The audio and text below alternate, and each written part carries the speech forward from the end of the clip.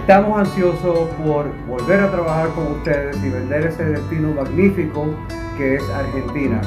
Esperando que pronto esto pase, sabemos que ha sido todo muy difícil para todos y quiero que sepan que estamos aquí apoyándolos para que en, el futuro podamos de nuevo volver a eh, vender y promover el destino Argentina.